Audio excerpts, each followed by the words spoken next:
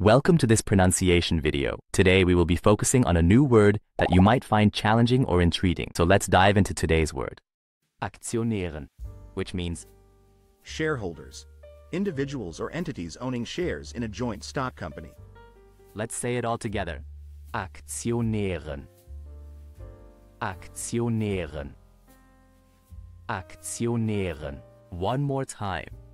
Aktionären. Aktionären. Aktionären. Thank you for joining us on this adventure in pronunciation. Remember, language is a journey, not a destination. Keep exploring, experimenting, and expanding your linguistic horizons. We'll see you next time.